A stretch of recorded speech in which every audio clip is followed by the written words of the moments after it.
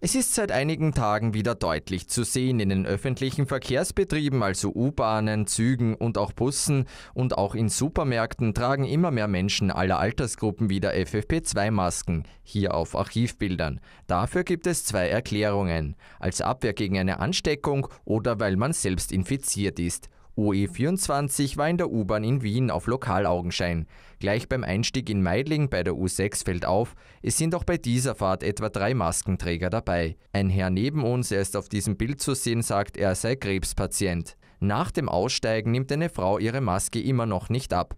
Ich möchte mich nicht anstecken, die Abwasseranalysen zeigen eine hohe Fallzahl, sagt sie. Die Zahlen geben den Trägern wohl recht. Innerhalb einer Woche haben sich die Covid-Fälle um ein Drittel erhöht. Es gebe einen nationalen Rekordwert an SARS-CO2-Konzentration im Abwasser, schreibt Molekularbiologe Ulrich Elling auf X.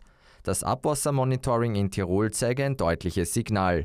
Bis zu 4% der Bevölkerung sind Covid-positiv, hieß es schon Ende November. Eine Pflicht, FFP2-Masken zu tragen, gibt es nicht.